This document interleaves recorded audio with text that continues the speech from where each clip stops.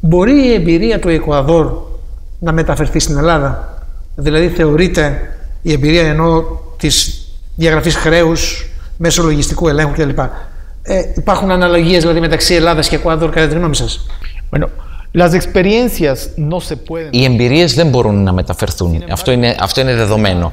Ε, ε, αλλά είναι σημαντικό, πάρα πολύ σημαντικό, η σημαντική απόφαση που έλαβε η πρόεδρος της Βουλής ε, ε, για, την, ε, ε, για την, την, την ε, δημιουργία αυτής της Επιτροπής Λογιστικού Ελέγχου του Χρέους ε, και πρόκειται για μια ε, πάρα πολύ τολμηρή απόφαση και ιστορική. Α, αυτό, που συμβα- αυτό που συμβαίνει ε, είναι ότι υποτίθεται ότι η, η, η, η κατάσταση στο Εκουαδόρ ήταν χειρότερη. Αλλά ερχόμενος εδώ και βλέποντας ε, τις, κα- την κατάσταση ε, που ισχύει με- στην Ελλάδα, μέσα σε πάρα πολύ λίγο διάστημα έχει μειωθεί ε, το ακαθάριστο εθνικό προϊόν κατά 25%. Έχουμε νέους ανθρώπους ε, κα- κατά 50, 40-50% ε, χωρίς δουλειά, ανεργία, πάρα πολύ ψηλό το επίπεδο. Έχουμε ε, ε, νοικοκυριά χωρίς ε, ηλεκτρικό. Έχουμε ανθρώπους ε, οι οποίοι δεν έχουν εισοδήματα. Αυτή τη στιγμή στην Ελλάδα η κατάσταση έχει χειροτερέψει πάρα πολύ σε σχέση με αυτό που είχε χειροτερέψει στο Εκουαδόρ. Άρα θα πρέπει ε, να αναλυφθεί μια πρωτοβουλία και να, υπ- να υπάρξουν αποφάσεις οι οποίες θα είναι πολύ πιο ριζοσπαστικές από ό,τι ε, εμείς είχαμε να κάνουμε τότε στο Εκουαδόρ. Α, επομένως, ε, ε, επο- ε, επειδή η κατάσταση στην Ελλάδα είναι πιο βαριά, πιο, εμ, πιο ε, άσχημη από αυτό που ήταν στο Εκουαδόρ, ε, ε, είναι πάρα πολύ σημαντικό να αναλυφθεί μια, μια πρωτοβουλία. Είναι, είναι ε, ε, βασικό να αναλυφθεί μια πρωτοβουλία η οποία θα αφορά ε, ακριβώς αυτό, ε, εμ, την, τη δράση που θα πρέπει να κάνουμε απέναντι σε, αυ- σε αυτή την κατάσταση.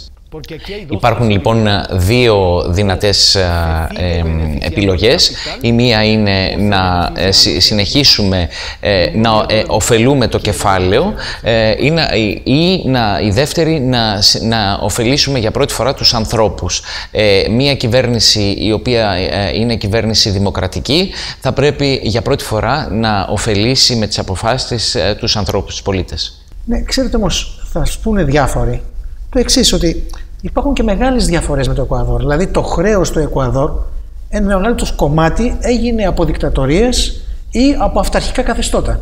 Ενώ στην Ελλάδα το χρέος το δημιούργησαν δημοκρατικές κυβερνήσεις.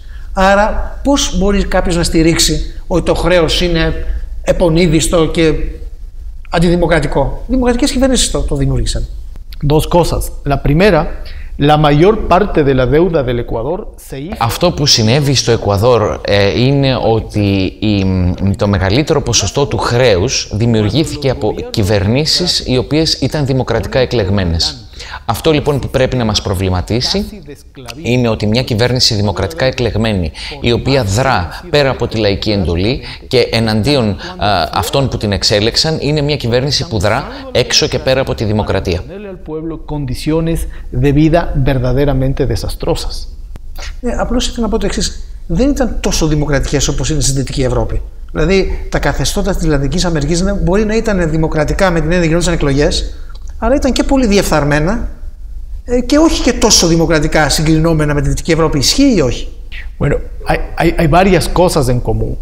Los gobiernos de América Latina, el del Ecu- los del Ecuador, Ε, Αυτό που συμβαίνει είναι ότι ε, ε, κυβερνήσεις ακόμα και δημοκρατικά εκλεγμένες όπως λέτε ε, είναι κυβερνήσεις οι οποίες ε, δέχονται ε, τις, ε, ε, τους ξένους θεσμούς όπως είναι για παράδειγμα η Ευρωπαϊκή Κεντρική Τράπεζα, το Διεθνές Νομισματικό Ταμείο και ε, η Τρόικα ε, οι οποίες έρχονται και ε, παραβιάζουν τους ε, νόμους ε, και το Σύνταγμα ε, τε- παραβιάζουν το ευρωπαϊκό κεκτημένο ε, παραβιάζουν ε, όλους ε, τις, τις, ε, τους κανόνες ε, που υπάρχουν ε, στη, στην χώρα και στην Ευρωπαϊκή Ένωση για να μπορέσουν να βάλουν όρους. Και οι όροι αυτοί βρίσκονται ε, ε, πέ- έξω και πέρα από, το, ε, από, τους, ε, από, από κάθε έννοια διεθνούς δικαίου. utilizan esas violaciones de la ley para imponer condiciones, a pesar de que son democráticos, condiciones profundamente antidemocráticas. Πάνω σε αυτό δηλαδή θα στηριχθεί μια επιτροπή για να πει ότι το χρέος ήταν επονίδιστο το ελληνικό. Θέλετε να πείτε. Bueno, hasta aquí hemos visto que hay eh, muchos componentes. Αυτό που έχουμε δει μέχρι τώρα στη δουλειά μας είναι ότι για παράδειγμα το χρέος ε, το οποίο είναι στην, στα, στα, στα, στα, χέρια της Ευρωπαϊκής Κεντρικής Τράπεζας. είναι ένα χρέος το οποίο έχει δημιουργηθεί στις παρυφές του νόμου ή αν θέλετε εκτός του νόμου. ε, και είναι ένα χρέος το οποίο χρησιμοποιήθηκε ε, για, να, για να τοποθετηθούν όροι και να αλλάξουν οι, οι νόμοι ας πούμε για την ελληνική κοινωνία ε, και ε, μέχρι τώρα αυτό, ε, αυτό έχουμε δει. Αυτό λοιπόν που έχει κάνει η Ευρωπαϊκή, η Ευρωπαϊκή Κεντρική Τράπεζα είναι ότι έχει δημιουργήσει ένα χρέος εκτός παράνομο ας πούμε και θα μπορούσε κανείς να το χαρακτηρίσει επαχθές. que está cargando a la economía griega de una forma que le hace insostenible. Hay insostenibilidad. Eso hemos visto en estos meses de, de trabajo inicial. Αυτό υπάρχει όμως διεθνής νομολογία που θα μπορούσε να αποδεχθεί ένα τέτοιο πόρισμα μιας επιτροπής. Υπάρχει διεθνής νομολογία που θα το, θα το έπαιρνε αυτό υπόψη και θα υποχρέουν την Κεντρική Τράπεζα, οποιονδήποτε ε, θεσμό ευρωπαϊκό να, να συμβαστεί με την ελληνική κυβέρνηση. En primer lugar, η Ευρωπαϊκή Κεντρική Τράπεζα έχει διάφορους ε, κανόνες και ένας από αυτούς τους κανόνες ότι λέει ότι είναι υποχρεωμένη ε, να, ε, να, να δρά με τρόπο που να βοηθάει στο να, να σταθεροποιηθούν οι οικονομίες των χωρών που είναι μέλη της, όχι για να τις αποσταθεροποιήσει.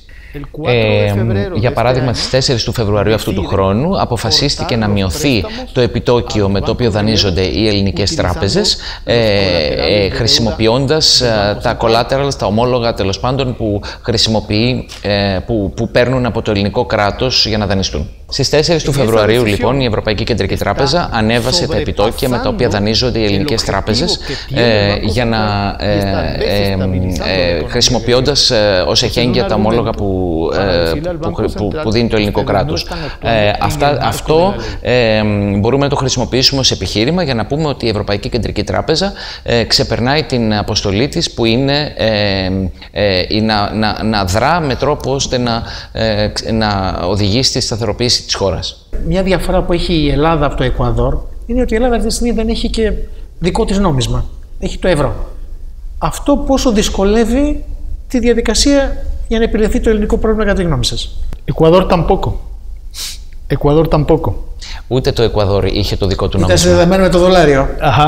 Estaba conectado con el, con el dólar. Entonces, la, la situación. Ε, ούτε το Εκουαδόρ λοιπόν είχε το δικό του νόμισμα και αυτό, αυτό που συνέβαινε είναι ότι, ότι ε, ήταν, παρα, ήταν συνδεδεμένο με το δολάριο ε, και αυτό δημιουργεί μια ε, κατάσταση όπου οι δύο ε, κατάστασεις που βρέθηκε το Εκουαδόρ και η Ελλάδα ε, είναι δύο ε, περιπτώσεις οι οποίες μπορούν να, να χαρακτηριστούν ε, ε, παρόμοιες. Εξακολουθεί να είναι συνδεδεμένο με το δολάριο και τώρα που μιλάμε. Ακόμα είναι. Desde el año 2000 en adelante. Και γιατί δεν έφυγε από, το, από τη σύνδεση με το δολάριο, γιατί είναι πολύ σκληρό νόμισμα για την οικονομία του Εκουαδόρ. Ahí hay una eh, explicación. Από το 2000 μέχρι τώρα το Εκουαδόρ είναι ε, συνδεδεμένο με το με το ε, δολάριο και υπάρχει ε, γι' αυτό ε, μία εξήγηση ε, περισσότερο κοινωνική παρά πολιτική. Είναι το θέμα της εμπιστοσύνης στην, ε, στην, στο, στο νόμισμα. Α, Όταν, άμα γίνει μια ε, ας πούμε δημοσκόπηση μεταξύ του λαού, α, ε, το δολάριο αυτή τη στιγμή έχει την α, αποδοχή και την εμπιστοσύνη του 85% ε, περίπου ε, του λαού. Εντο, ε, επομένως για, το, ε, για την κυβέρνηση είναι πάρα πάρα πολύ δύσκολο να αλλάξει ε, την σύνδεση αυτή με το δολάριο. Αυτό είναι, μοιάζει πάρα πολύ με την ελληνική πραγματικότητα και τη σχέση που έχει ο μέσος Έλληνας με το ευρώ. Claro, el asunto es también que la gente se Ε, acuerda αυτό είναι, είναι de cómo παρόμοια η funcionaba περίπτωση con la γιατί ο anterior κόσμος moneda. ε, συνεχίζει Había mucha ε, να inflación, θυμάται devaluación, πώς ήταν ε, η κατάσταση πριν έρθει το ευρώ ε, όπου υπήρχε πολύ μεγάλος ε, πληθωρισμός, υπήρχε ε, ε, ε, απαξίωση ας πούμε ε, της, ε, της, των τιμών και των, ε, ε, ξέρω εγώ, των χρημάτων ας πούμε, της αξίας των χρημάτων Το ίδιο πράγμα συνέβαινε και, στην, και στο Ακουαδόρ από ό,τι φαντάζομαι. Sí, muy parecido. Μου παρασύρω. Ε, και στο Εκουάδρο το ίδιο. Είναι λοιπόν, ε, πολύ ε, παρόμοιο αυτό που συνέβαινε.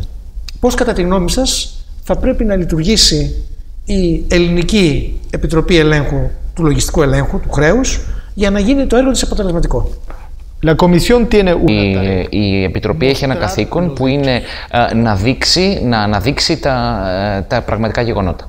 Mostrar Να cuando αναδείξει hay όταν υπάρχουν ilegalidades. ε, παρανομίες και παρατυπίες. Mos- Ε, mostrar να cuando hay αναδείξει ilegitimidad όταν en υπάρχουν el uso de ε, los ε, ε, πα- ε, π- παρανομίες, παρατυπίες ε, ε, στην, ε, στην χρησιμοποίηση των πόρων. Η πραγματική, La tarea de la Comisión ε, η- es το καθήκον της mostrar Επιτροπής donde είναι να hay αναδείξει ilegalidad όταν en los υπάρχουν, ε, όταν υπάρχουν παρατυπίες ε, στην, ε, στην, ε, στα, στην, ε, στα δάνεια και στην, στον, ε, στη χρησιμοποίηση των πόρων.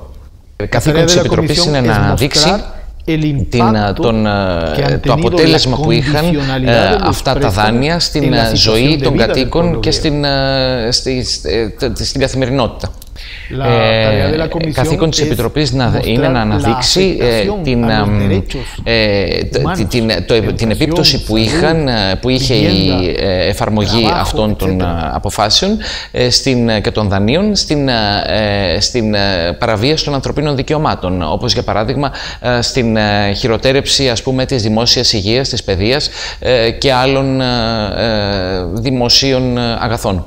Ακριβώς mostrar los αυτό είναι να, να δείξει τα πραγματικά γεγονότα. Y Και να πόκειται corresponde a las στις, ε, autoridades στους θεσμούς, ε, usar στους esa θεσμικούς información παράγοντες για να para ε, tomar πάρουν ε, acciones αυτά que τα, τα quieran γεγονότα, αυτά τα, αυτά, αυτά τα αποτελέσματα ε, της εργασίας της Επιτροπής για να ε, τα χρησιμοποιήσουν οπουδήποτε εκείνοι επιθυμούν.